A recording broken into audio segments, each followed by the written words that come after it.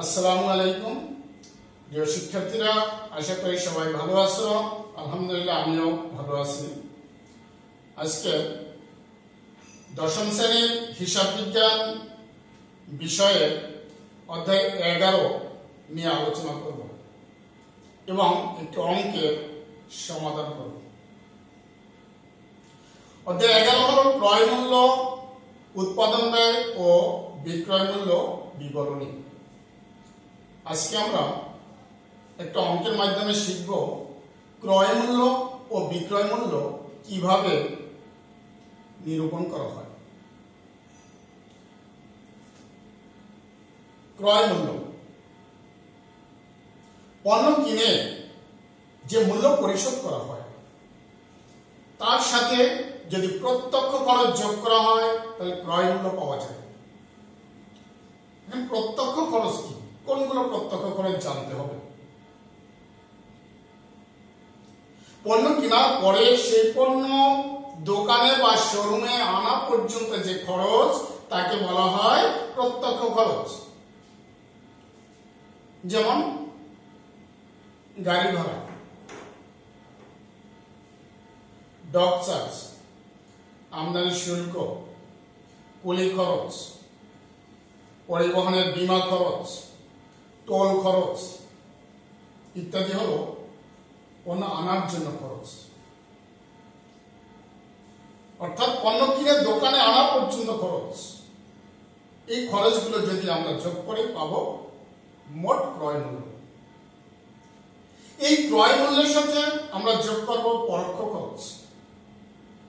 পরোক্ষ খরচ হলো পণ্য দোকানে আনার পর থেকে বিক্রয় পর্যন্ত।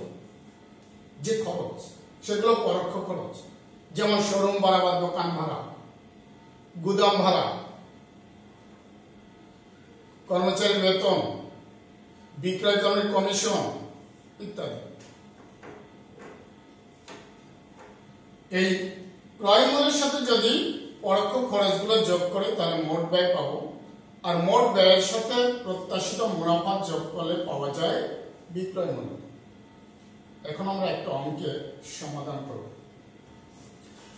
পাঠ্য বইয়ে শিক্ষার্থীরা, তোমাদের পাঠ্য বইয়ের পৃষ্ঠ নম্বর একশো চুরাশি একটি কাজ দেওয়া আছে। এই কাজটির সমাধান করবে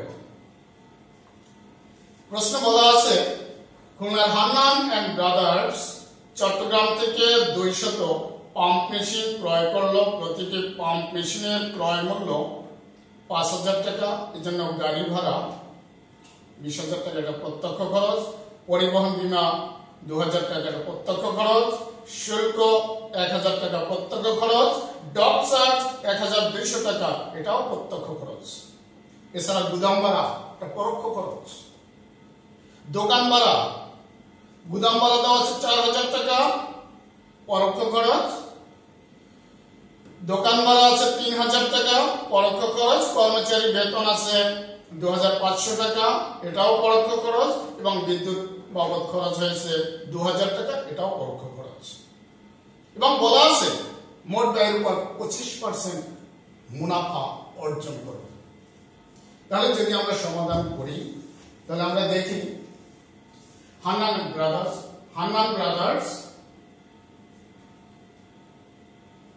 ক্রয় মূল্য ও বিক্রয় মূল্য বিবরণী।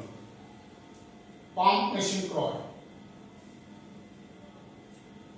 দুইশো পাম্প মেশিন। প্রতিটি মেশিনের মূল্য পাঁচ হাজার টাকা। মোট মূল্য হয় দশ লক্ষ টাকা। এর সাথে যোগ হবে প্রত্যক্ষ খরচ। প্রত্যক্ষ খরচ আমরা পেয়েছি গাড়ি ভাড়া বিশ হাজার টাকা পরিবহনের বিমা আছে দু হাজার টাকা। শুল্ক এক হাজার টাকা ডক চার্জ এক হাজার দুইশো টাকা। মোট প্রত্যক্ষ খরচ হল চব্বিশ হাজার দুইশো টাকা। এর সাথে যোগ করলে মোট ক্রয় মূল্য পাওয়া গেল দশ লক্ষ চব্বিশ হাজার দুইশো টাকা। এটা ক্রয় মূল্য। অর্থাৎ পণ্য কিনে যে মূল্য পরিশোধ করা হলো তার সাথে প্রত্যক্ষ খরচ যোগ করে আমরা পেলাম মোট ক্রয় মূল্য।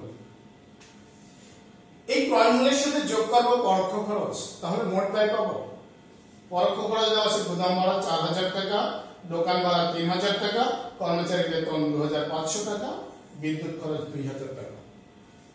মোট পরোক্ষ খরচ পেলাম এগারো হাজার পাঁচশো টাকা। যদি ক্রয় মূল্যের সাথে যোগ করি, তাহলে পাওয়া যায় দশ লক্ষ পঁয়ত্রিশ হাজার সাতশো টাকা একটা মোট ব্যয়। বলা আছে মোট ব্যয়ের উপর পঁচিশ পার্সেন্ট মুনাফা অর্জন করবে। তাহলে দশ লক্ষ পঁয়ত্রিশ হাজার সাতশো টাকার পঁচিশ পার্সেন্ট যদি করি, তাহলে পাই দুই লক্ষ আটান্ন হাজার নয়শো পঁচিশ টাকা। যদি যোগ করি, তাহলে পাবো বিক্রয় মূল্য। বিক্রয় মূল্য পাওয়া গেল বারো লক্ষ চুরানব্বই হাজার ছয়শো পঁচিশ টাকা। শিক্ষার্থীরা, তোমরা এই পাঠ্য বইয়ের কাজটি করবে। একটা অঙ্ক করলেই পুরো নিয়মটা আয়ত্তে এসে যায়। এছাড়া উদাহরণ দেওয়া আছে, বইতে করা আছে, সেটাও দেখবে। আর সৃজনশীল প্রশ্নগুলো আগেও ক্লাসে করানো হয়েছে, সেগুলো আবার পুনরায় তোমরা বাসায় প্র্যাকটিস করবে। সবাইকে ধন্যবাদ দিয়ে আজকে ক্লাস এখানেই সমাপ্ত করছি। আল্লাহ হাফিজ।